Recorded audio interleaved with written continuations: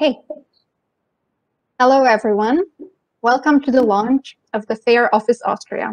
My name is Tereza Kalová, and I'm a project manager in the FAIR Data Austria project at the Vienna University Library. I'm also part of the team of the FAIR Office.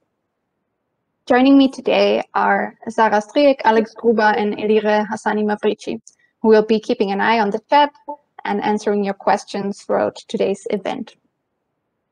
I'm excited to have you all here to talk about international development around FAIR data and services, as well as the official launch of the FAIR Office Austria. Before we begin, I want to quickly go through a um, few housekeeping rules. Please stay muted throughout the event. You can post any questions or engage with our speakers um, in the chat box, and they will be answered uh, during and after the talks. We will be recording today's event and the slides and some of the video recordings will be available to you after, after the event. I will um, stop sharing my screen now.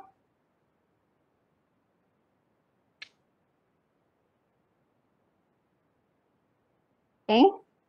And I would now like to turn it over to Professor Ronald Maier, the Vice Rector for Digitization and Knowledge Transfer at the University of Vienna, as well as a big supporter of FAIR, to welcome you all. Professor Maier, bitte. Thank you very much, Tereza. Can you hear me all? Okay, wonderfully. I was asked to warmly welcome you today uh, to, to, today's uh, launch event, and that's exactly what I'm doing now. You know, I warmly welcome you to this event.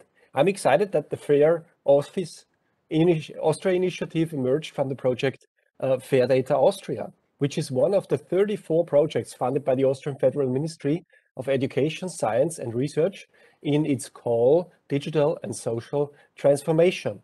A call actually that was accompanied uh, by the establishment of a number of vice rectorates for digitalization and something typically um, in many Austrian universities. Um, which also who also network among each other in the forum digitalization um, and actually promote the projects, the cooperations in the projects and beyond the projects with the national and European and international community, of course.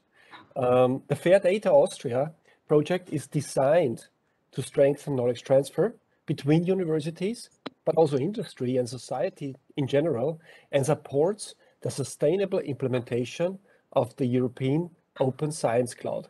Now there's already a connection in there between FAIR and EOSC, you know, so they two go together very well, very well in our in our view. And you know, we actually have two offices now, which should closely, in my wish, you know, should closely work together, of course.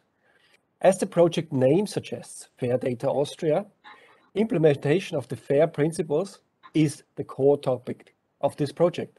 It is particularly warranted through the development of next generation repositories for research data, code, and other research outputs on the one hand, so infrastructure, and on the other hand, with the development of training and support services that go along with these infrastructures, the usage of these infrastructures. One of the work packages in the project foresees the implementation of a fair national node desk, as well as the implementation of local fair reference points as contact points for researchers at their institution into the broader FAIR community. The result of this endeavor, the FAIR Office Austria, which we're launching today, is a collaborative effort of the three universities, the two technical universities of Graz and Vienna, as well as the University of Vienna. The future integration of further partners is of course planned and more than welcome, as well as an even closer connection to the global GoFair organization. I would wish to thank, you know, uh, those people who have actually strongly promoted and enabled uh, the establishment of the FAIR uh, office. First of all, Hana Pergl, operations officer from the GoFair International Support and Coordination Office for promoting a dialogue and systematic engagement with committed countries and communities as the one that is represented here today.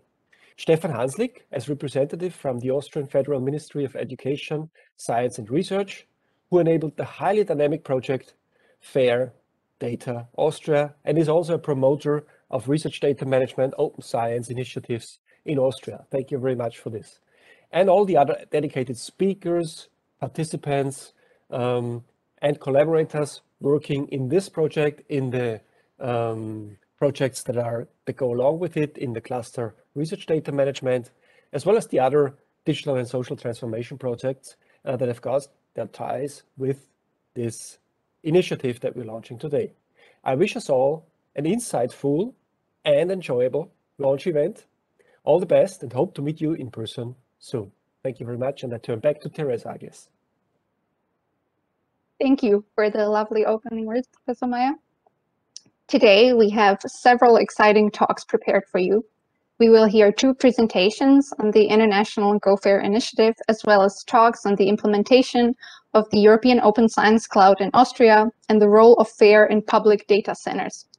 After a short break, you will find out more about the mission of the FAIR Office Austria, as well as hear some exciting updates on new technical infrastructures that are being developed to enable FAIR workflows. Joining us today is Hana Pergl. Hana's background is in business administration and management. She has been managing operations of the GoFair International Support and Coordination Office since October 2018. In addition to her role with the GoFair International Office, she also coordinates operations of CODATA, the Committee on Data of the International Science Council, as of 2019. Today, she will be discussing the vision and the structure of GoFair Global, as well as the implementation networks and the Data Together initiative. I will turn it over to Hana now. Thank you for joining us today. Thank you very much for having me. Hopefully you can also see my screen at the moment. Yes. Mm -hmm.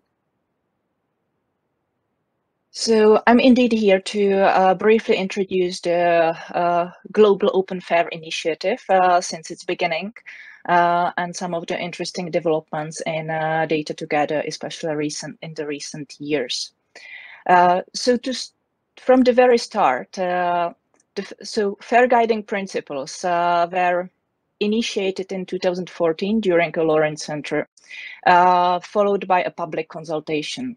Uh, then the, uh, guiding principle seminal paper was published in 2016, and uh, up to date, uh, there's uh, close to 4,500 citations. So that's five citations per day on average. Uh, that clearly indicates the rapid take up of the FAIR principles. and by now, FAIR became pretty much uh, of a hype term. Uh, it's being uh, iterated uh, in uh, international open science policies. Uh, you can find it in the draft recommendations on open science from the UNESCO. national policymakers are are mentioning FAIR heavily in their uh, draft or already approved uh, policies, uh, funding organizations are starting to require fair outputs from the projects.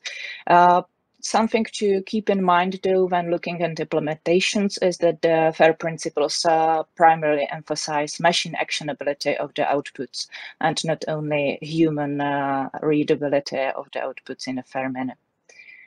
So the GoFair initiative uh, was started in 2017 by uh, three countries in Europe, Germany, the Netherlands, and France, uh, initially to kickstart uh, EOSC uh, as part of the global internet uh, or web, if you wish, of fair data and services. it is based on the fair data principles. some of the original offers are are engaged in the initiative and in the com uh, GoFair community that has been working since 2017 and 2018.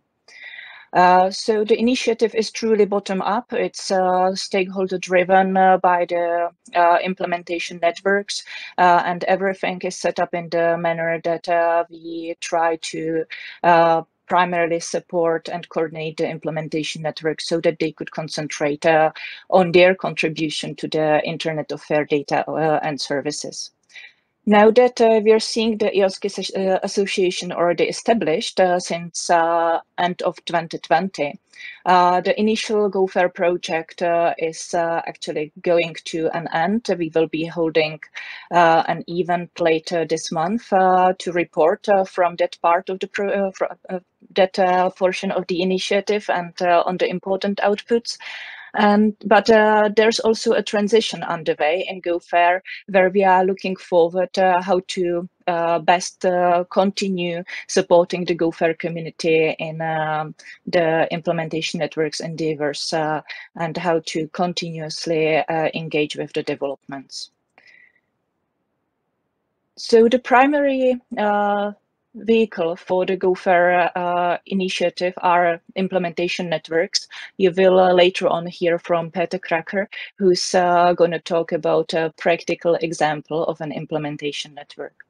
Uh, in general, the GoFair INS are open to uh, everyone. So it's very light, lightweight uh, participation. So whether you're an individual institution or a project, you can either join an existing in or suggest forming an implementation network. Uh, I already mentioned that the primary objective of INS is to uh, define and create uh, components of the Internet uh, of Fair Data and Services. Uh, I listed here the rules of engagement, but there's a link to uh, the full document on the GoFair website, which you can consult later on, uh, since I will be making my slides available. Uh, just to have an idea about the size of the community, so by early 2019, we had uh, uh, over 30 implementation networks, so that was far more than we expected when GoFair was uh, starting. Uh, and uh, should you be interested to explore which uh, are currently active uh, and operating under GoFair, you can uh, uh, you can check the link that I included in the slides to the GoFair website should you be interested to join uh, an in, then you can uh, easily either contact the in coordinators directly through the web page, or you can contact the GoFair International Support and Coordination Office uh, at the moment. In here, I'm uh, listing also some of the more recent developments within the GoFair Implementation Networks community. I want to mention that uh, as of 2020, uh, rather than growing the number of ends, uh, the community is concentrating on convergence around existing uh, solutions of fair implementations. Uh, as one of one as one of those results, uh, there were there was a digital intelligence special issue published in 20 where you can uh, read about uh, first uh, about fair principles, fair first uh, implementation choices. Uh, many of the authors of uh, the original fair principles paper were engaged in in drafting some of the some of the papers included in the special issue, and as well as the GoFair implementation networks community. You can also explore a verification framework uh, designed by the GoFair community, uh, which is uh, structured around the metadata for machines workshops, uh, then feeding into a fair implementation profile showing uh, the choices made by the various uh, communities of practice and therefore allowing to explore which of the choices may be overlapping in the uh, in the communities and therefore driving convergence. Ultimately, the outputs uh, from uh, the data uh, of the communities of uh, practice uh, can be feeding into the fair data points that would be located globally. As for GoFair governance, uh, I'm listing here the existing uh, GoFair governance, uh, which is driven by the needs of the GoFair community uh, and also by the uh, founding member states. Uh, now that we are in transition, it is foreseen that the governance will change and to allow for global participation of other states and offices or fair representation offices if you wish, uh, such as uh, the Austrian office, for instance. There's actually a discussion tomorrow about a way to support the GoFair community going forward and uh, uh, the second phase of GoFair. Uh, something to mention though is that Peter Kraker, who will be presenting next, is also a member of the GoFair Executive Board, uh, which is representing the uh, general uh, GoFair community. So, so it's a subset of the stakeholder forum members, basically. In here, you can, uh, I included a link to the Fair Festival 2021, uh, where you will learn also more about the future of GoFair, uh, as well as the outputs of the first phase of the initiative and of the project. Uh, so uh, unless already registered, I encourage you to uh, join us uh, later on in June. Uh, the event is organized by my colleagues in uh, ZBW in Germany. With that, I would like to move on to broader developments in the global research data ecosystem. So uh, four major international data organizations have been uh, holding quite a number of discussions since uh, 2019, actually, exploring uh, ways of collaboration and uh, also overlaps uh, in their operations, in, in the communities that they support, in the key activities that they wish to run. Therefore, a statement has been published uh, in March 2020 outlining their commitment to cooperate uh, and uh, align their activities uh, where possible, while still st keeping the, uh, the, independence of the separate organizations uh, who would be primarily operating in their distinct areas of expertise and in the manner that is slightly different, but definitely uh, complementary.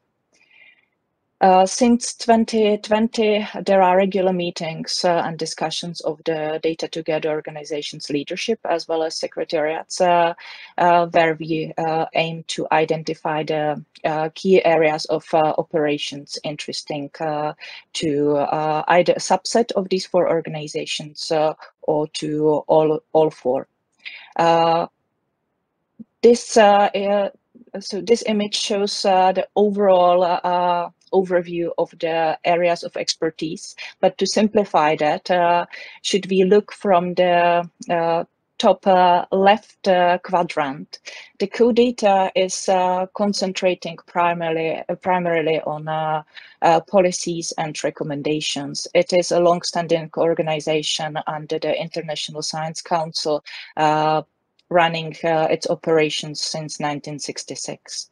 Uh, GoFair is uh, much newer, established in 2017, and it is truly bottom up, uh, primarily concentrating on the FAIR principles implementation specifics, uh, sort of a test bed uh, and pra practical lear learning FAIR by learning FAIR by doing. Uh, RDA would be uh, is also a bottom-up uh, initiative, uh, much larger, and uh, is concentrating on uh, cracking intellectual nuts and making recommendations and suggestions. Part of those may be then taken up even by GoFair implementation networks. And the World Data Systems is the connection to the repositories world. Uh, the key topics and activities that are or have been uh, driven by the four organizations so far is uh, collaboration on the CODATA Decadal program, uh, activities uh, with the aim to foster global cooperation of uh, open science platforms, data together activities around COVID-19, uh, which were uh, started uh, last year. Uh, also, activities in relation to SDGs are being explored, uh, and three of the members of Data Together are running International Data Week conferences every other year. And I believe that is uh, my last slide. So with that, uh, I thank you for the invitation and for the opportunity to speak here. I'm sure that uh, other speakers will uh, address some of the aspects uh, in here in more detail and on the national level. And should you have questions, I'm happy to answer those now in chat, or you can uh, at any point reach out to me via email, or you can find my contact details uh, also on the websites of the two organizations that I'm supporting. Thank you very much. Thank you, Hana. That was uh, most illuminating. Uh, if you have any questions for Hana, please do write them in the chat uh, where she can answer them while I uh, let me move on to our next speaker. Um, Peter Kraker is the founder and chairman of Open and Knowledge Maps, a charitable nonprofit dedicated to dramatically increasing the visibility of scientific knowledge for science and society alike. Peter is a member of the GoFair Executive Board as well as a coordinator of the GoFair Implementation Network on Discovery, and a core team member of the Open Science Network Austria, the OANA. Prior to founding the Open Knowledge Maps, Peter was a senior researcher at the KNOW Center of the Graz University of Technology, managing the topic of open science. Today, Peter will give you more information on the GoFair Implementation Network on Discovery. Thank you for joining us, and please go ahead, Peter. Yeah, thank you very much for the kind introduction um, and uh, the opportunity to speak today. I would like to congratulate the project team and everyone involved on the launch of the Fair Office Austria, which is a great initiative. I myself have been involved with GoFair since 2018.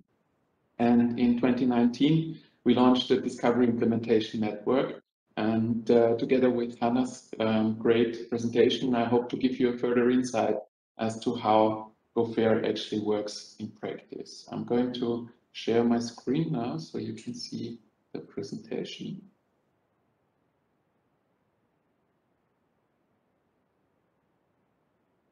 Yes, so I hope it's visible now. I see a nod. Thank you very much. Um, and I want to start off with the motivation for our work, because um, as many other things, uh, um, as many other things, um, it starts with the researcher. In this case, it's a researcher who wants to find and reuse data of their interest.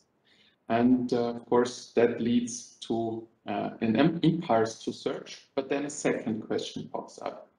Where do I actually start? What is my entry point for data discovery? Because as you can see, there are many different options. You can start in the literature and then move from there to the data.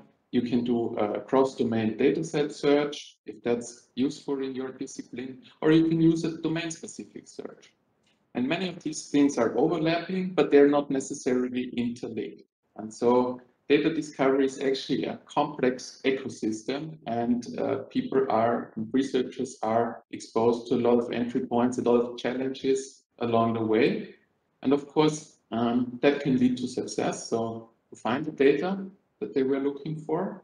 But more often than not, it actually leads to a case of I find data, but it's actually not uh, related to what I was looking for, or it does not uh, run exactly along the specifications that I was looking for. And also no data, right? Dead end, I haven't found anything at all. And an indication that it's actually the latter two things is that we found that up to 85 data, 85% uh, of data sets are never re reused. And that of course means that we cannot cash many of the checks that we've written as their open and fair data movement. And so discoverability is a key challenge when it comes to data. And um, I think we really need to make big improvements there in order to really reap the benefits of this open science system that we're building at the moment. Right now, there's a lack of adequate user interfaces for data discovery. There's often a simple reuse of existing interface concepts that we already know from publications, but that often cannot be translated to data sets or not readily be translated to data sets. And there's often a design from the systems rather than the user's perspective. So we are often looking at what is missing actually in the system rather than understanding what the users actually want. And unfortunately, we also see new market entrants that follow a closed proprietary model. And that is, of course, not compatible with the Internet of Fair data and services that we're uh, wanting to build. And it creates new paywalls and prevents innovation.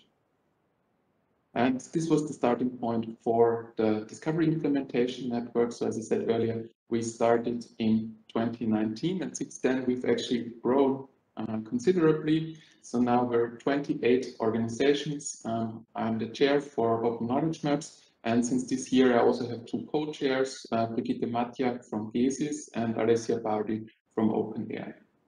We also have for um, personal members. So in GoFair, you can either join as a representative of your organization or simply as an interested researcher, as an interested individual. Our purpose is to provide user faces and other uh, user interfaces and other user-facing services for data discovery across disciplines. Uh, we want to explore new and innovative ways of enabling discovery, so such as visualizations, recommender systems, semantics, content mining, annotation, and responsible metrics. So many of the things that we see in other areas of scholarly communication, but we not seeing in data search at the moment.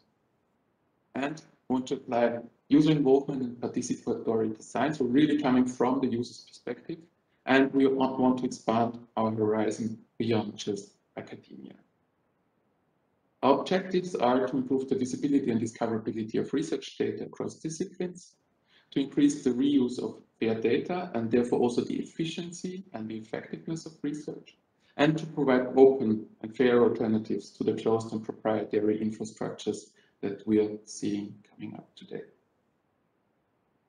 Our work plan is threefold. Um, first is a stock taking, stock taking of the relevant use cases, the indices, interfaces, and services out there, a structuring of what we found into an open ecosystem for discovery that fulfills the use cases, and finally, the implementation of this ecosystem.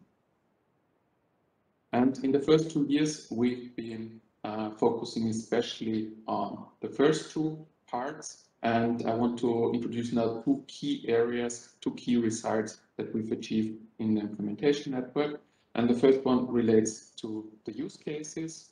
So we did a large scale use case collection um, and use cases in the form uh, of as a role, I want to go also that benefit. So as a researcher, I want to get an overview of data sets in my field so that I can determine which data I can reuse. And we have collected over 100 such use cases um, from our own input, from workshops, from studies, from interviews, and we've also collaborated with the RDA interest group on data discovery. Um, so I think that already shows the links that Hana already uh, introduced in the beginning, and that is actually through paired members between the different groups, um, and this is also how the knowledge exchange is done at the moment. Yeah, and then we've performed an elaborate analysis and an annotation of entities, thematic clustering, and also an initial community prioritization. And uh, bird's eye view of the results can be seen in this graphic. So on the left-hand side, you can see um, the different clusters that we found. For example, metadata for discovery, which has the largest number of use cases attached to it, and also data citation, overview, and linking. Then you can also see the actors that um, have contributed these use cases or meta metadata, unsurprisingly, was dominated by researchers, but data citation already becomes very interesting for students. And then when we come to the overview of data sets, uh, really a lot of different actors are interested in use cases around that, or they have use cases around that. In summary, um, we found that most of the use cases described um, the current infrastructure provides for or doesn't provide for, or it provides for it badly. For example, as a researcher, I want to find data sets that are similar to those that I've already used, so a classic recommender use case. In data search, this is still um, not uh, possible across disciplines. So this reveals crucial requirements for the data discovery infrastructure, and we will soon uh, publish an open data set with all the use cases um, with an accompanying the second area that I want to introduce is our work on infrastructure. Uh, this comes back also to the first uh, slide that I showed is that we have many, many different actors in this system from aggregators, publishers, research organizations to uh, repositories, registries, and value-added services. And so we want to understand this um, ecosystem better. And for that, we do an analysis, a categorization. We want to identify gaps and then also suggest guidelines for the implementation. And uh, this is a work that's very much in progress, but this is an early result. So this shows you the flow between data producers and data consumers and the many, many different entities that are in between. And what we, what we actually want to find out is what does it need um, within the system so that we can actually uh, fulfill the use cases that we found, especially the ones that were highly prioritized. And so our next steps is to finish the structuring and then work towards an implementation. I should say that we're not, we don't want to provide uh, completely new interfaces. Uh, you may know the joke that if you want to uh, summarize 14 standards, um, well, at the end you have a 15th standard, right? So and I think that in a sense also applies to interfaces. We really want to provide or improve the existing user interfaces, especially the ones of course, that are within the implementation network, the infrastructures that we already have on board, provide new links, provide new functionality, and see how we can easily kind of um, guide the users from system to system. Yeah, um, if that has um, sparked an interest, um, here is how you can actually get involved in GO FAIR. Uh, so you can join an interest uh, an existing implementation network I would uh, suggest you go to the website and uh, look at different um, implementation works uh, networks that have already taken up their work. There are many that are domain specific. So if you want to improve the situation in, a, uh, in an existing domain, um, there is likely already an implementation network there. Um, but there are also cross-domain networks. And of course, GO FAIR is always open to new implementation networks. And uh, so you can start your own implementation network. And that's actually much easier than you might expect. You, um, of course, have to find your collaborators and register your interest with GO FAIR. And then GO FAIR will get in touch with you and help you to prepare a manifesto, which is a brief high-level description in two pages. And then essentially you submit your manifesto and as soon as it is approved, you can get started. And to get maybe more of a taste, a taste of what the implementation networks are doing, I would really um, invite you to join us for the FAIR Festival uh, from 21st to 23rd of June. Yeah, um, from my personal experience, um, GO FAIR really um, started where I personally, we as a small organization, had to stop, where we were always very passionate about, not about research data discovery, but there, there are limits as to what you can do as an individual and as a single organization. And since we do have the implementation network, it really um, spurred the growth, it spurred collaboration, it brought the people together, and it's become a very productive way of thinking about this area and hopefully improving it as we're going forward. With that, I want to thank you for your attention and I'm happy to answer any questions that you may have in the chat. Thank you for the great talk, Peter. I'm excited to find out more, especially about the use cases you mentioned. Uh, and I'm sure uh, that uh, many people will get in touch with you regarding the uh, implementation networks because we have very many uh, people who have joined us today that are uh, huge uh, supporters of FAIR and want to see it happen. Okay, so if you have any questions for Peter, please do um, pop them in the chat while I will introduce our next speakers, Stefan Hanslik and Paolo Budroni. Stefan Hanslik is uh, the head of the Technical Science Unit at the Austrian Federal Ministry of Education, Science and Research. Stefan holds a PhD in biology and genetics. He represents Austria in numerous international organizations and initiatives. He is the Austrian delegate in the Horizon 2020 Program Committee Research Infrastructures, the governing board of the Joint Initiative of the European High Performance Computing, and the Infrastructure Reflection Group. He's also the Austrian delegate of the EOSC steering board. Paolo Budroni holds a PhD in philosophy, art history, and romance philology. as well as degrees in foreign trade and European integration. His long-term involvement in digital asset management as well as research support services have provided him with a thorough knowledge of technical systems and the requirements of the academic world. He has experience not only regarding research data, but also open educational resources and cultural heritage. 2002 to 2004, he was a professor for marketing at the graduate level at the University of Perugia in Italy. Together, they will discuss the topic of FAIR in the European Open Science Cloud and give you information on the implementation of the EOSC in Austria. Stefan, Paolo, thank you for joining us today. The floor is yours. Please go ahead. Okay, thanks a million uh, for introduction. I share my screen now. I hope you can see it in a second. Yeah, here we go. Yes, there we go. Um, First of all, uh, let me let me say um, thank you and give uh, congratulations to to the whole group. I've seen a lot of uh, faces, of very important faces here on the screen, which all uh, belong to these uh, developments and the achievements of, of uh, the the Fair Office Austria.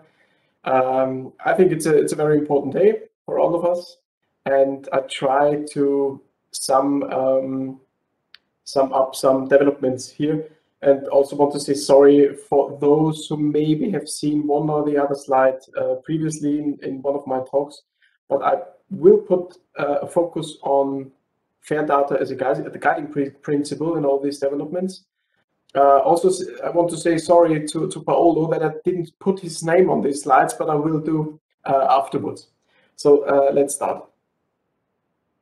Uh, as usual, I, I, want to start with a definition of EOSC um, because I think it's rather important just to go back uh, sometimes to the to the definitions uh, on EOSC, and I think that uh, the publication um, jointly made by Paolo and uh, Jean-Claude Burgelman, as well as uh, Michel Schouppe, is the, the document where you find the properest uh, definition of EOSC, and it is still valid and when you read in between the lines, you will immediately find the FAIR principles as the guiding principle um, of uh, the EOSC process. Um, and in former days, we also used to define it as the backbone uh, of EOSC.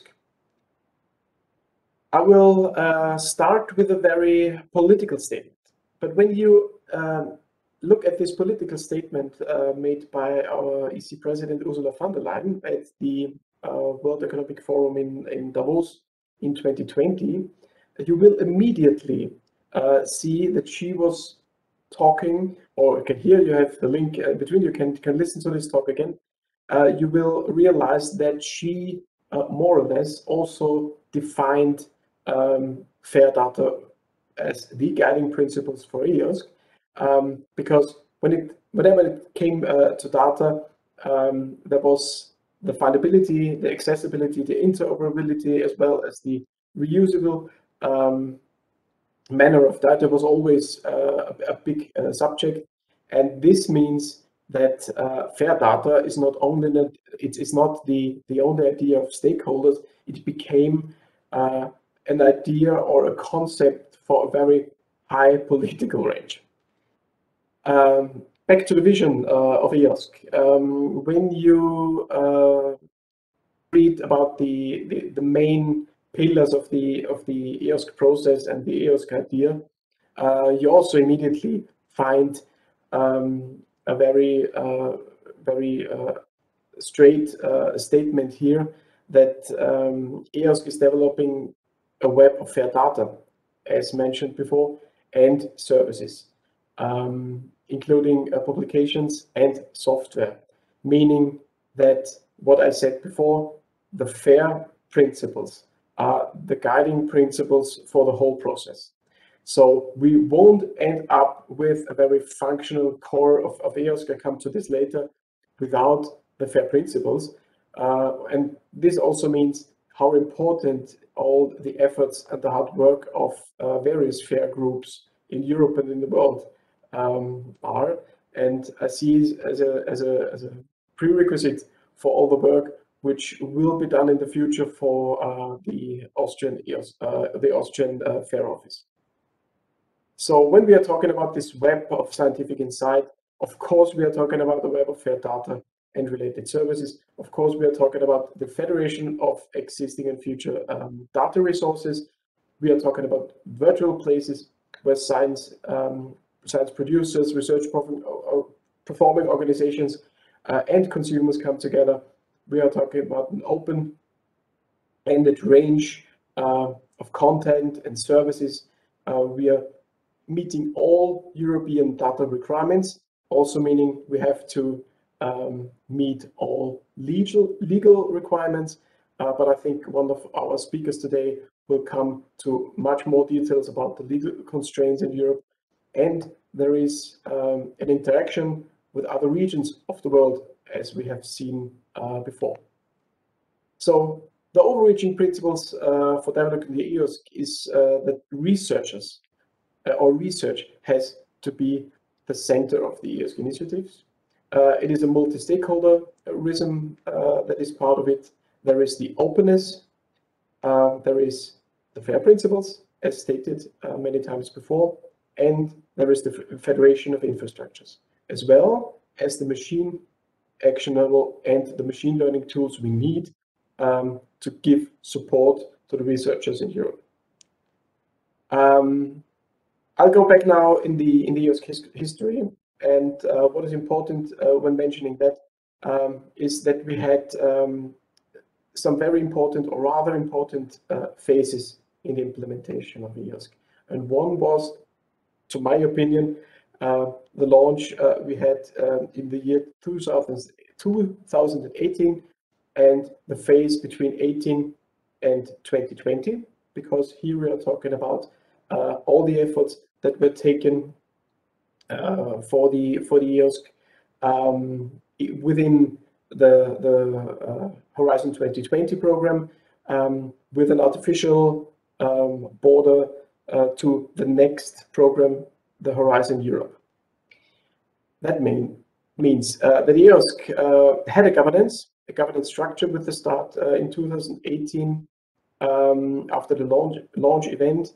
And within this uh, governing structure, we had, in one hand, of course, the stakeholder forum, the stakeholder group, which played a lot, uh which had a lot of work to do also before it came to the to the political idea uh, of EOSC, and the governance board, as well as the representatives of the European Commission. But within the stakeholder forum or the governance board, uh, there were working groups built up within these two years. And you could imagine that fair data and fair data implementation was on top in these working groups. So there were a lot of achievements also in connection to, for example, EOSC Pillar, the EOSC Secretariat, and many other uh, projects which focused on fair data implementation.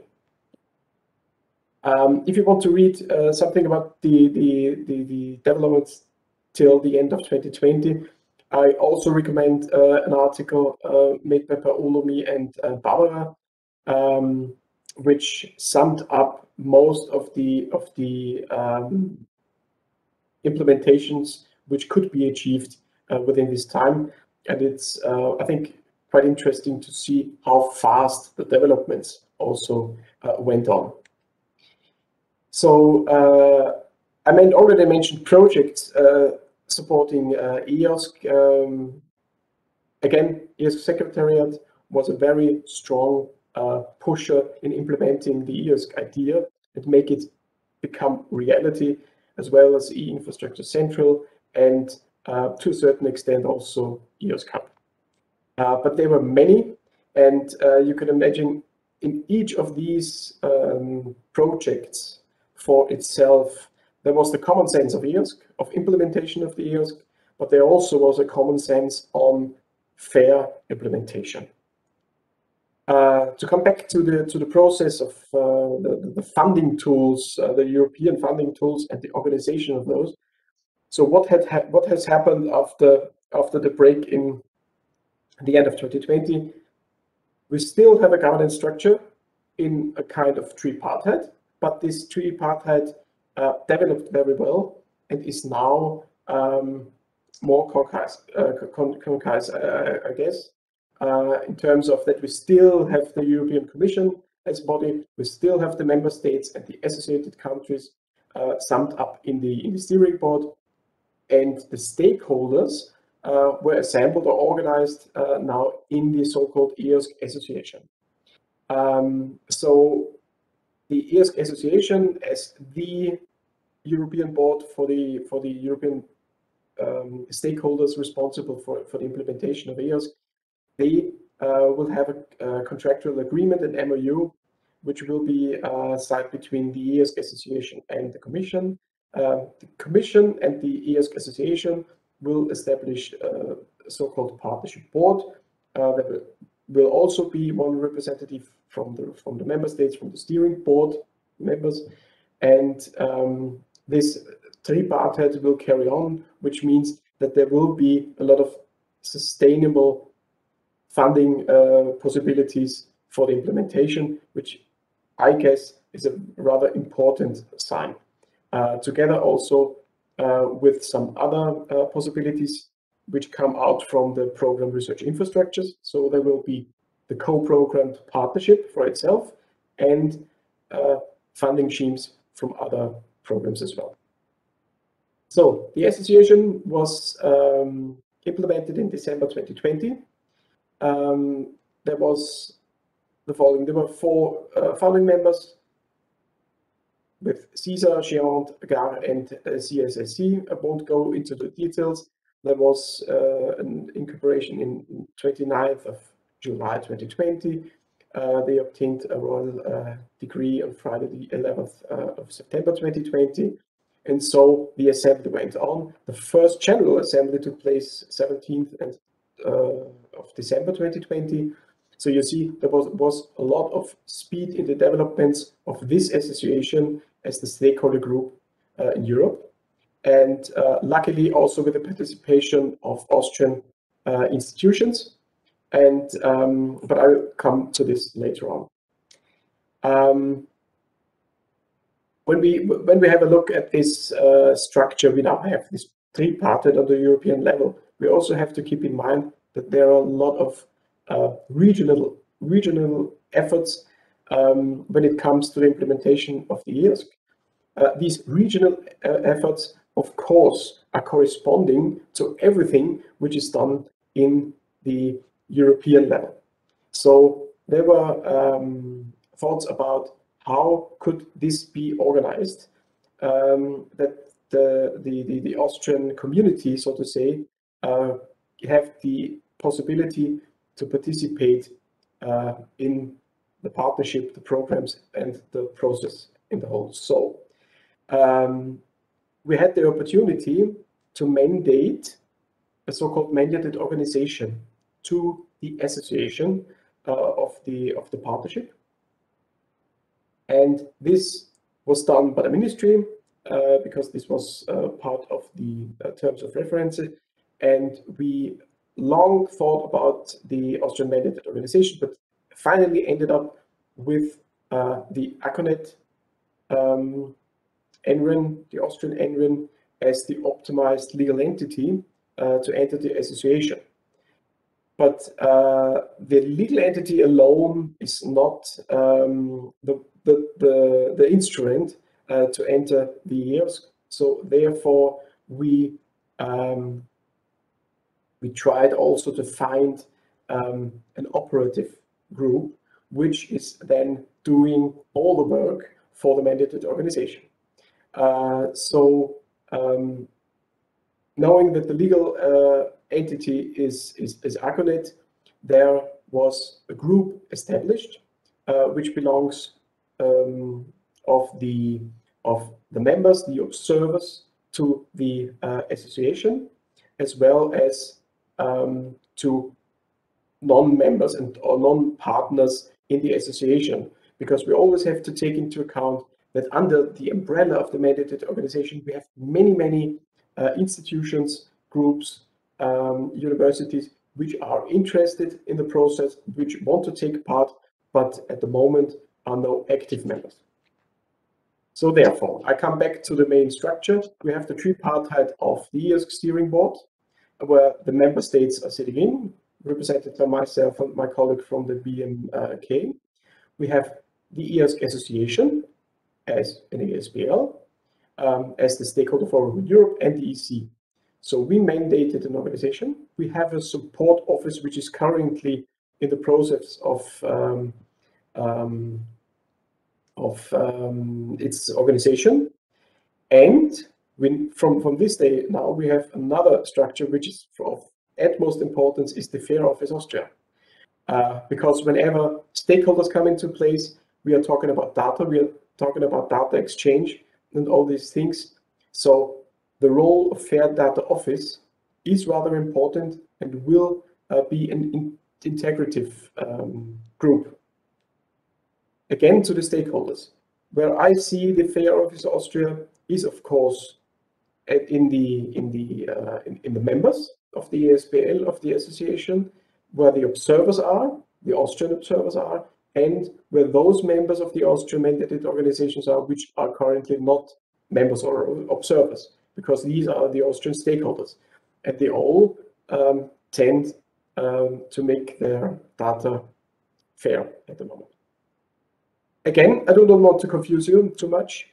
Uh, we have the tripartite and the on the level of the interaction between all these groups, between observers, members, the support of EOSC support office, the Fair Office Austria, we have very uh, straightforward, easy ways to communicate either with the EC, with the steering board, with the association, uh, to finally implement the EOSC. Uh, and therefore, I see here also a rather important role of Fair Office Austria next to the one of the EOSC support office uh, to make all this possible. Stefan, uh, sorry, uh, excuse me. Uh, we need to move to the next talk now. Could okay, so I just I could just skip what it was. Could you please sum up your next points, uh, your last points in one sentence for us? Um, maybe I just uh, want to mention in the last sentence, the EOSC Cafe the EOSC Wiki and, and of course, uh, Fair Office Austria as working instruments for all the stakeholders. We have these instruments and we should carry on. And please do not forget that everything, and here I come to the end, but it was mentioned before, all these activities are connected to international um, uh, processes as well. As you see, uh, it's very similar to my uh, previous speakers. Thank you. Thank you. Thank you for the, uh, thank you, Stefan. Thank you, Paolo, for the exciting updates. We are uh, definitely uh, going to be, uh, everyone should be watching uh, what's going to happen with the EOSC mandated organization that's uh, starting um, their activities now. you can engage in a discussion with Stefan and with Paolo in the chat. while I introduce the last speaker of the first part of today's event, um, Martin Semberger. Martin is uh, with the Austrian Federal Ministry for Digital and Economic Affairs. He is responsible for the European data policy. He has been the head of the task force on open data and public sector information since 2019. During the Austrian EU presidency in 2018, he was the council chair on the Open Data Directive. As previous member of the Single Market Unit, Martin has long-standing experience on EU internal market affairs and the digital economy. His current activities include the negotiations on the EU Data Governance Act and on defining high-value datasets within the framework of the Open Data Directive. Today, he will focus on fair and public data centers in Austria. Please go ahead, Martin. Thank you very much for the kind introduction, Tereza. Yeah, I'm trying to share my screen right now. Just a second. Uh, yeah, there we are. So very nice hello on my behalf. Uh, it is very exciting to be here today uh, in this historic event of the launch of the Fair Office Austria. Um, I will uh, talk a bit about the data policy developments and in, in particular um, on the Open Data Directive and the EU Data Governance Act at EU, at EU level. Uh, both acts uh, have great implications on national policies, of course, and everything is interconnected, as we know. Uh, so what is the starting point uh, in concerning data policy and data management today? We're seeing actually a lacking data availability across many institutions, uh, the emergence of data silos, uh, and and the actually the lacking uh, possibility to reuse data and the lacking technical interoperability all these problems actually contribute great to to data not being available for research uh, and and actually uh, not for the public benefit. Thus, we're talking um, much about outdated cultures, about outdated business models, and the lacking capacity for data analysis and data literacy. And this is actually something we want to go further. We need to address, and therefore uh, it is very much uh, essential to have a FAIR uh, office Austria that could also contribute to tackling these problems. So actually, we're seeing this in times of the pandemic that actually uh, maybe we have been used to living in a closed world, but I think that's not the new normal we should uh, we should follow. So uh, I hope we can we can follow the open uh, approach, and this is also true for the data uh, for the data sphere and data policy in general. Thus, we need to get away from a data lock-in to creating value for the public good. Thus, because data gives us the power to to uh, tackling these these grand challenges, to tackling imbalances, poverties, diseases, the pandemics, as we have seen. And I think we should always be aware that uh, there is great purpose in, in having more data and having data better reusable. Uh, so what is the role of the government? And I'm speaking as a as an official of the Federal Ministry for Digital Affairs. The government, also at European level, is uh, being regarded as having a pioneering role. This, the public sector um, has a tremendous uh, volume of data uh, that could be used for economic and social development. So it is the mission also of the public sector to go ahead uh, and to make this data available. And uh, above all, I'm thinking a lot about research, and uh, we see this uh, these day, days that actually we need to make data uh, more data available for research. Um, globally seen, the international standard is open government. Um, one could say that Austria is still not yet ready uh, for fully implementing this principle, but I think we're, we're, we're endeavoring to to getting ever nearer to this goal and to to to say uh, to, in the end to have an open government uh, with regard to to any data uh, the public sector produces. Uh, we also have to bear in mind that uh, many of the activities of the public sectors are actually publicly financed, and therefore the goal should be to make data uh, publicly available. One interesting um, piece uh, interesting fact is actually the uh, the data governance structure within the organizations and, and ministries, and therefore uh, it is very much welcomed to have uh, data officers or as you're trying to develop maybe data data stewards who are pushing forward with the fair data principles and the, the better data uh, usability. So the data policy in Europe and within the member states is grounded on one very particular directive. It's the Open Data Directive that sets the horizontal legal base for the reuse of any kind of public sector data. It is uh, implemented in all member states nationally. Uh, the new directive has to be implemented by July 17, and I think it will set some major uh, new standards with regard to the, the, the reusability of data.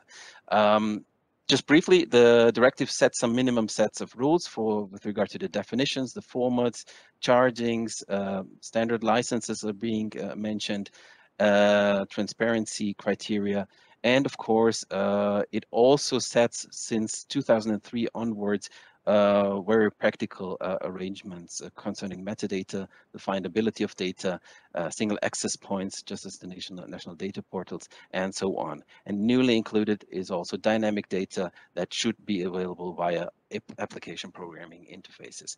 Um, the extended scope of the new um, version of the Open Data Directive um, is introducing an extended scope also to research data. And uh, so let me delve into this a little bit. So the directive explicitly states to the member states that uh, member states should shall support the availability of research data by adopting national policies, um, aiming at making publicly funded research data openly available. Thus, uh, it is very important to bear in mind uh, the open access principle that needs to be implemented by all member states. And the directive generally uh, specifies also the uh, principle of open by default. Uh, thus, as mentioned before, the public sector should actually um, follow this principle in general. The concerns uh, concerning uh, intellectual property should be addressed uh, through the principle as open as possible and as close as necessary. And I hope that in particular with regard to the cultural sector and the research sector, that this principle should also be the guiding star that guides all our efforts in this domain. Um, fair data is of course also mentioned in the open data directive and uh, the directive uh, itself states that data management planning should become a standard scheme uh, thus making data findable, accessible, interoperable, and reusable. Uh, it is being addressed to all researchers and research performing organizations, and I hope that this uh, extended scope will also give a boost to the research sector that actually, uh, yes, indeed, research data shall not be kept in a silo, it shall be made findable and accessible all across different arenas.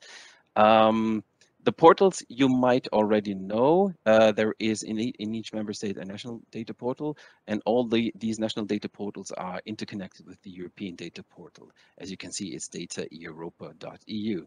Um, just briefly, the uh, directive also introduces a new booster to, to the data availability across Europe. Uh, it's it's the so-called notion of high-value data sets. There will be a separate implementing regulation upcoming soon, and this will address some some flaws in certain sectors, as the geospatial sector, the Earth, observation sector, meteorological data will be available more of that. Statistics, of course, we've learned throughout the pandemics that statistical data is very much important.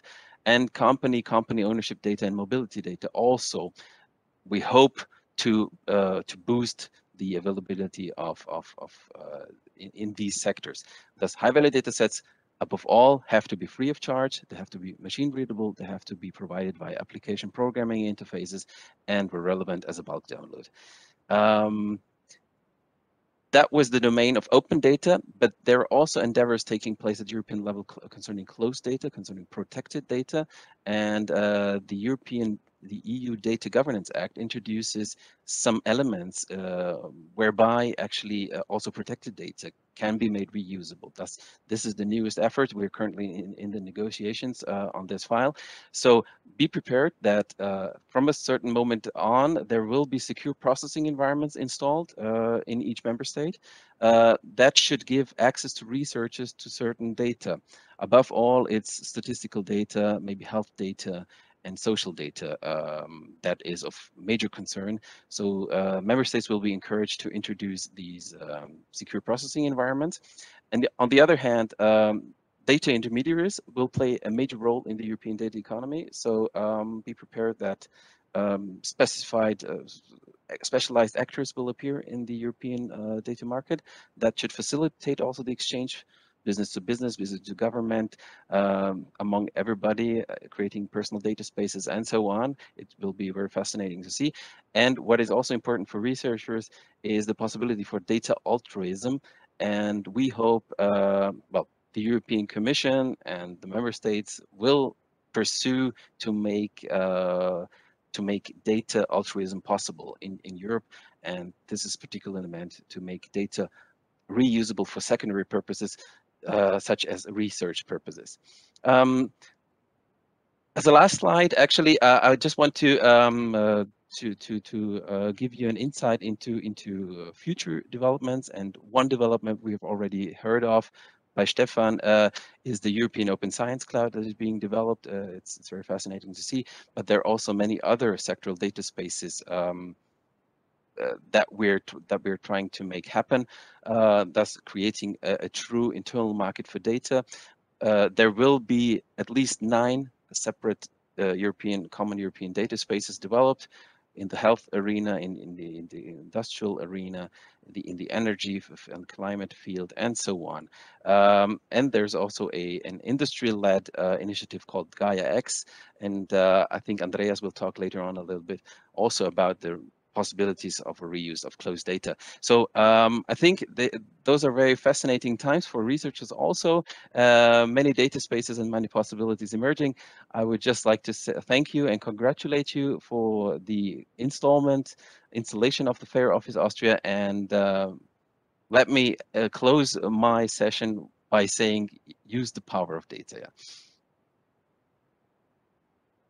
Thank you. Those are some powerful words, pun intended. Uh, thank you, Martin, for the great talk. And uh, I think it's really uh, uh, fascinating, especially the initiative to enable the reuse of protected data. I'm, I'm sure that will be a great use to researchers um, in Europe and outside. Um, so Martin will be available in the chat to answer any questions you might have. And uh, we will now take a short coffee break. Uh, Tereza, may I yes. just uh, we are totally in time, um, and I just wanted to know if uh, Paolo is still here, and if he wanted to add something um, to the EOSC support office. Sure. If Paolo, you're still available and would like Mhm. to add something, we would have time to to to give five minutes of our break time. Okay, uh, so thank you very much. Yes, just a few words uh, because um, Stefan uh, said um, everything uh, what uh, was of relevance. I ju- just like uh, to add something which is ref, ref, refers to the fair activities. Um, I believe EOSC is not possible without fair. This has been said several times. Also, Stefan mentioned it. But um, concerning the Austrian situation, um, it will be our duty to have very close links uh, to the fair related activities, the building up of the fair office, uh, the support uh, to the fair office concerning then its international activities uh, concerning uh, uh, the GO FAIR level. And in a reciproc in a reciproc way, uh, the same support uh, in a closed way to the EOSC mandated organization. Um, I, I believe you, you know it, uh, you Barbara, you know it that we are working on this, and also the the colleagues who are now uh, working on setting up the EOSC uh, mandated organization, the support office.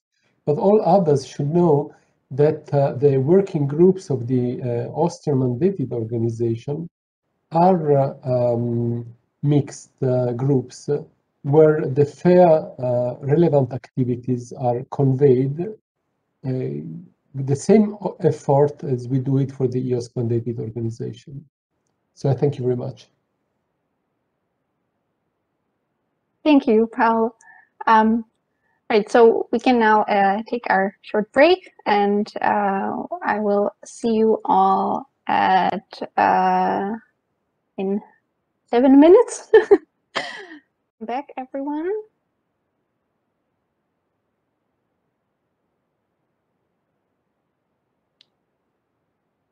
Right, so um, we will uh, go ahead with the second part of our program now.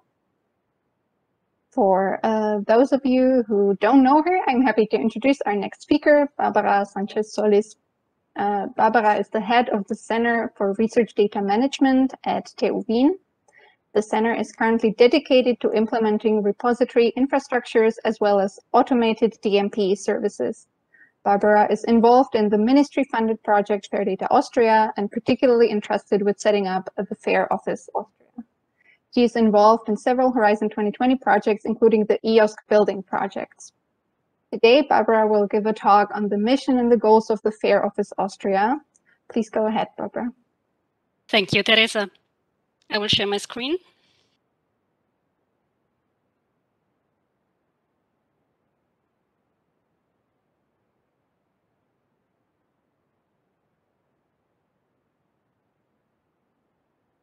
So I hope you can see the presenters perspective now. Okay. So um, me and many of my colleagues who are active in research data management consulting have explained in the last year to the researchers what the FAIR principles mean.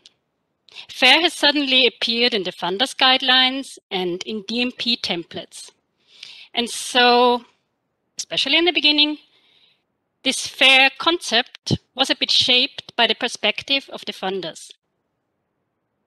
We also repeated FAIR on a very superficial level. We explained to the researchers it's about making data findable, accessible, interoperable, and reusable. at the same time, we felt we stay a bit on the superficial level with this explanation.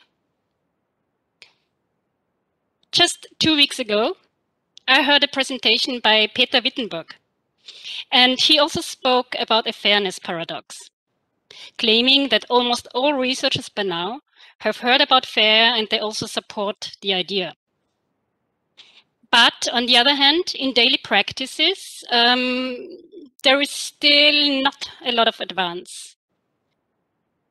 And this is an observation we also um, make when we do consulting.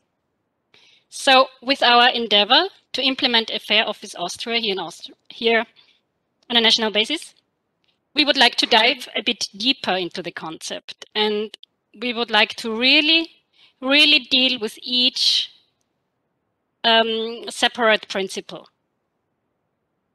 At the moment, we have a very dynamic situation in Austria, thanks to a number of projects that deal around uh, digitalization processes at universities.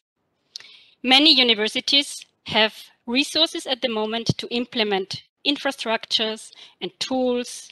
For example, a number of universities are in the process of implementing data repositories or machine actionable data management tools, but also services for data analysis. And a lot of effort also goes into support and training. However, if we want our researchers to really integrate FAIR into their practices, and if we want them to really exploit all the potential of the new technologies, we have to pay attention to make these services as fair as possible. We also talk about fairization of services. But what does it mean? It means we have to pay a lot of attention to technical details, to technical setups. For example, we need to have clear specification of frameworks. We need to have interface protocols, digital object interface protocols. We need a system of persistent registries and services like, for example, PIT services. We need to work on semantic interoperability, meaning on concept and vocabulary definitions. We need to work on different access levels. So we have to get away from the idea that access is a click for download. This is very relevant for, for the challenges which Martin has with the Public Sector Information Directive. We also need to work on built-in security in our systems, and we have to be aware that machine actionability is core to each of the FAIR principles. So this is why for our FAIR Office Austria, we have given ourselves the following mission. We connect stakeholders from research communities and service providers. Together, we help to advance the FAIR principles. In order to illustrate a bit um, how we can enable automation processes and machine actionability and really implement FAIR by design, I show you on the next slides some technical solutions. For example, the F in FAIR, the findability, the, basic basic principle, uh, says all the data sets um, have to be assigned with, with a persistent identifier. So this is an example of actual repositories. For example, on the left-hand side, a DOI assigned to code. The same works with data sets. And on the right-hand side, you can see how both can be integrated. Or here an example how a persistent identifier is part of the metadata and also how metadata can be exported in a machine actionable way. Here an example for, for the I, for the interoperability, meaning that there should be persistent cross-references made available. Like here, a data set that references to papers or also to code. And when building all these systems, we have to be aware that the system should not stand for itself, but it needs to be connected that the content can be found, found by other systems. So it plays a, a great role to think about external visibility and interlinkage of all these systems, and tools. Now, I would like to explain a bit how we are organized. So um, Ronald Maier explained it in the beginning already. The Fair Office Austria is an initiative that came into emergence within a project, one of the ministry funded projects, which is Fair Data Austria. And owing to this uh, setup, we are in the implementation phase, a consortium of three uh, institutions, which are the TU Wien, the TU Graz, and the University of Vienna. However, we have thought about uh, scalability from the beginning, and we also would like to go beyond the project in terms of duration and also in terms of stakeholders and partners, because we think we should also look um, outside of academia. I want, just want to mention museums, for example, which provide a, great deal of data, or also, and I refer again to Martin's presentation, to uh, public data sets from public data archives and public data centers. To really bring and anchor the idea and the concept of FAIR into the institutions, we have started to build up a network of local FAIR reference points. This means we want to have inside the institutions clear reference points researchers can ask uh, when it comes to, to questions around FAIR. On the right-hand side, you can see the current status. This displays now all the partners from the Fair Data Austria project. However, also here, we would like to expand the network. So if you're interested to become a reference point in your institution, please contact us. We will include you in this network. We will include you also in training um, sessions, and we can give you um, visibility on our website. Of course, when talking about science, open science, and fair, we always have to consider the, the global context, the international context. So first of all, we would like to become an official GO FAIR supporting national office. This means we would support the GO FAIR governance, and this means we would also commit to advance the implementation networks here in Austria. The consortium I mentioned before, so the three institutions, TU Wien, TU Graz, and University of Vienna, are all members in RDA and in the European Open Science Cloud. We also have formed the Carpentries Austria together, which allows us to enhance our, our strength in trainings and um, in conveying tech knowledge. Uh, two of our two partners in the consortium are part of the Invenio RDM developer community, and our partner TU Graz is particularly devoted to Cyverse Austria, which is an analysis tool for data in the life sciences. So please get involved.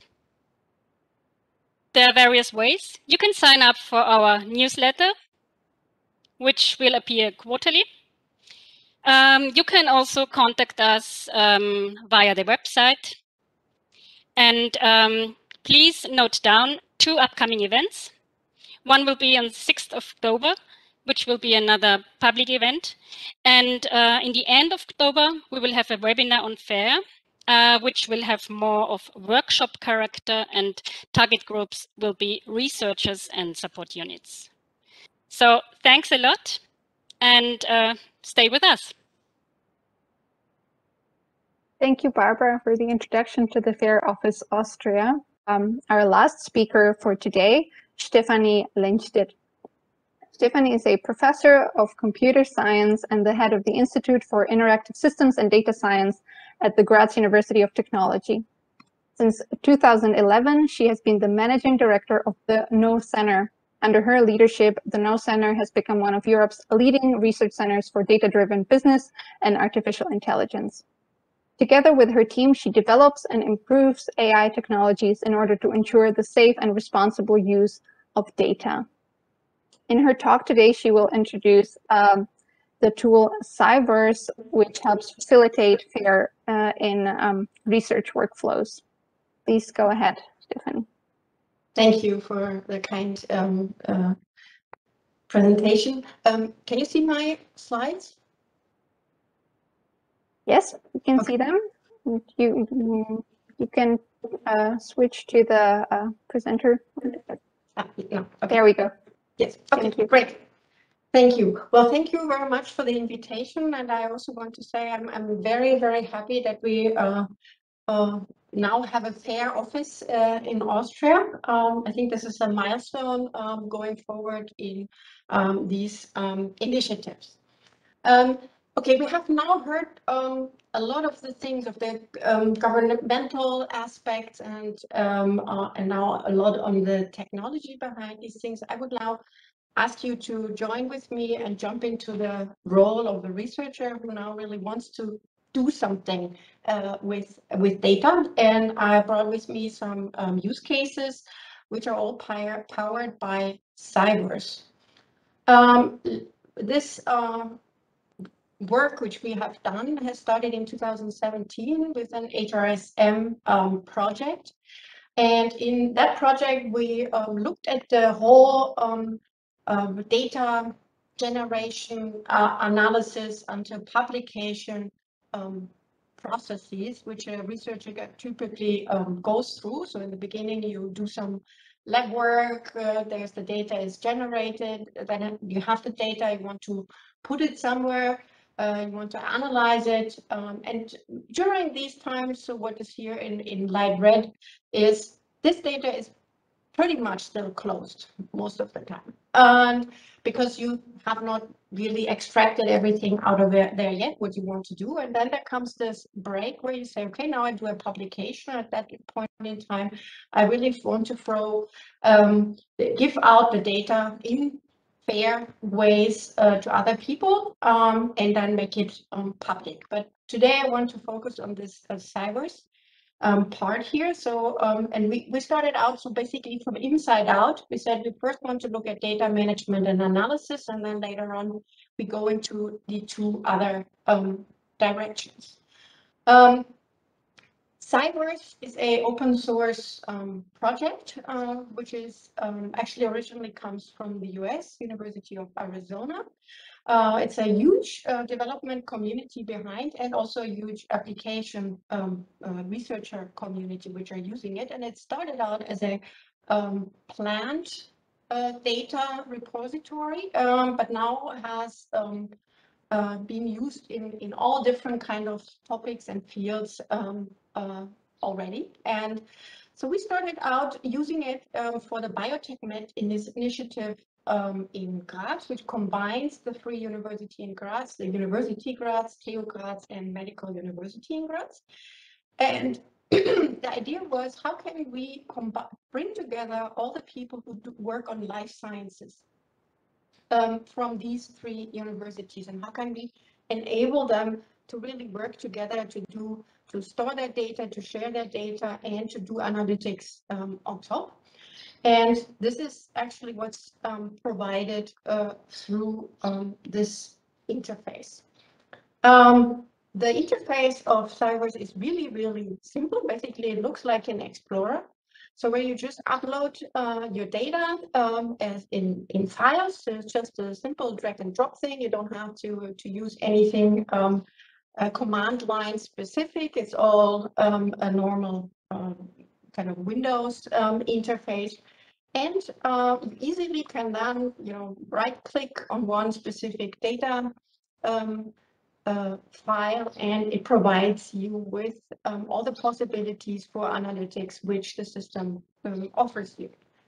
Um, the cool thing about uh, just alone the data management is that, so we, we did quite a lot of um, uh, requirements analysis in the three universities and asked people, so what are you really looking forward, uh, uh, what, what do you need? And most people, a lot of institutes said, well, as soon as a, a PhD student leaves, uh, most of the time the data is gone or at least it's not understandable anymore. So this is um, already one point. You have a central um, place for an institute or for a whole organizational part where you can actually put your data, where it's safe, where you have access rights. You can choose yourself who should access it, who should not access it.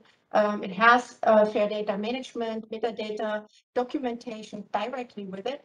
And, um, and you um, can share the data well with collaborators. Um, then, but beyond this just sharing the data, it also provides a whole suite of um, analytics tools. So right now, out of the box, it has more than 3,000 applications which can um, run on the data sets and specifically it knows what kind of apps can run on, on which kind of data.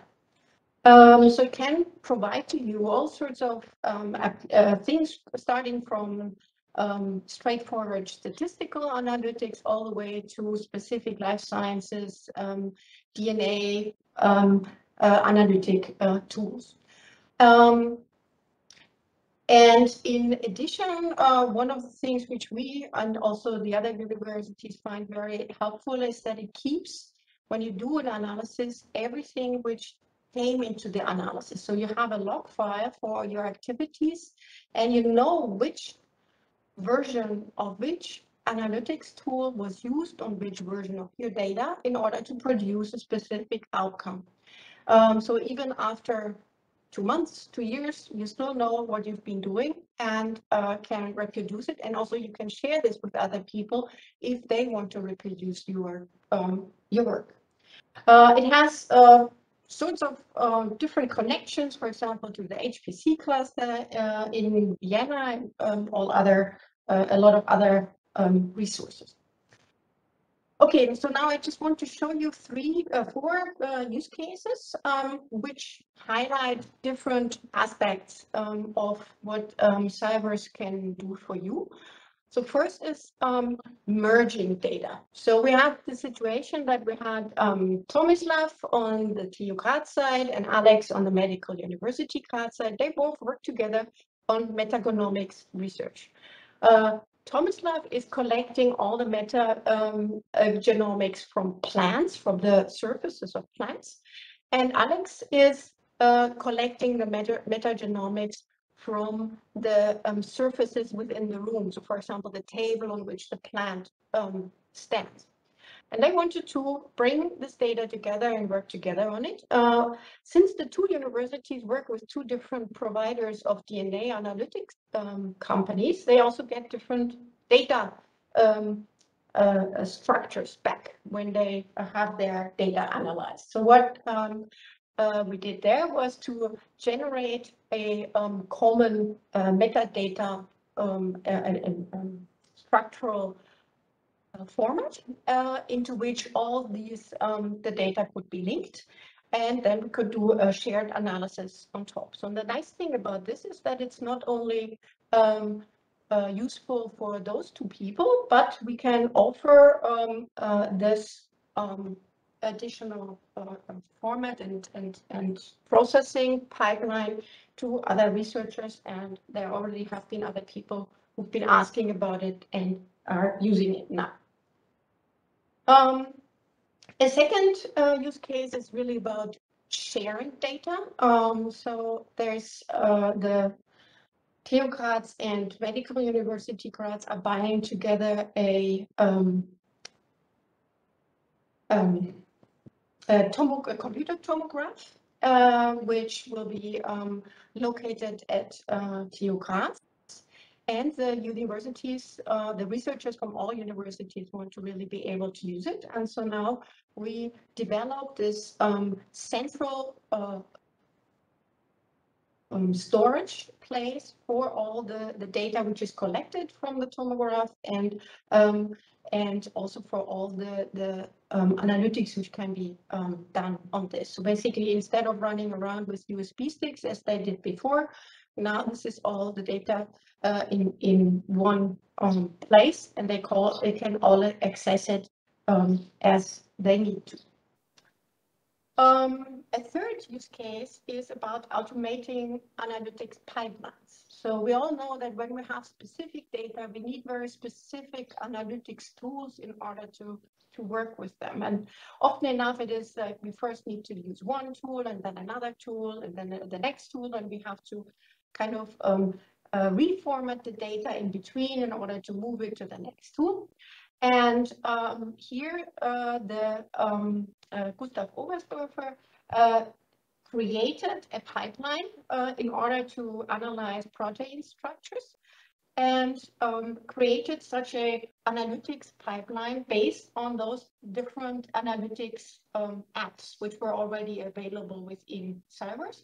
And he basically generated this automatic um, pipeline where uh, from uh, now on he only has to throw his data in in the front uh, and then gets his result uh, in the back. And again here uh, we have the nice thing that this whole pipeline can be shared and is shared already between um, him and other um, people and other researchers. Um, that has also the nice advantage that sometimes people who are very technically affine, like uh, Gustav, who's very um, um, yeah, more technical person, uh, can develop such things and then also give it to people who might have less um, experiences in those technology. Yeah, and the final application case, use case, which we have is that we are using um, uh, Cyverse already for um, teaching. Um, the idea uh, here, what has happened is that we, uh, for bioinformatics course, you want to give certain software environments, the RStudio, um, for to the students, specific data to the students, which they are um, supposed to analyze. So this all could be um, uh, done through Cyverse, so to, to ge generate a, a common environment in there in which the students can work. And this also supports our um, uh, cross university study programs. Um, so in this case, the, um, chemistry and biology students. But uh, in the future, we we're, have now set up a new study program, program on computational social systems. And there, uh, this system would also be um, used in order to provide an um, uh, yeah, teaching and analytics environment for those students uh, who will start studying this. Yeah, um, with this, I would like to thank you for also for the whole um, RDM team in the Graz University of Technology, um, Elire, Sarah, Konrad, and many, many others who have made all this um, possible.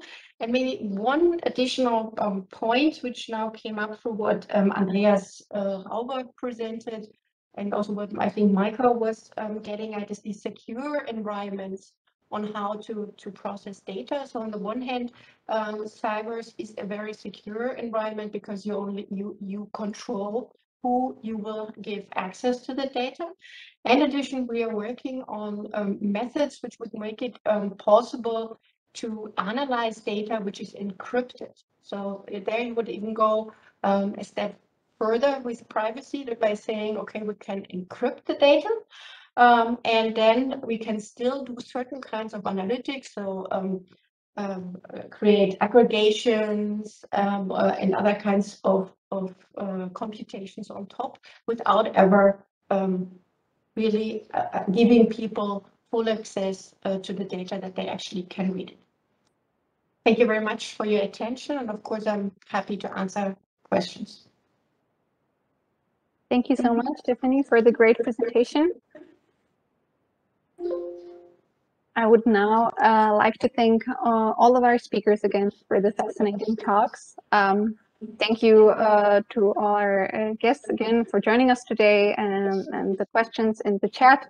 Um, it's great to see so many faces, even though you don't see all the faces with the cameras off. It's okay. Uh, it's great to see so many people from various backgrounds and various institutions who are interested in FAIR. And uh, the team of the FAIR office and I are excited to work with you, work together um, in the future to contribute to making FAIR a reality in Austria and also internationally. So thank you again so much and um, please do get in touch with us for anything concerning FAIR.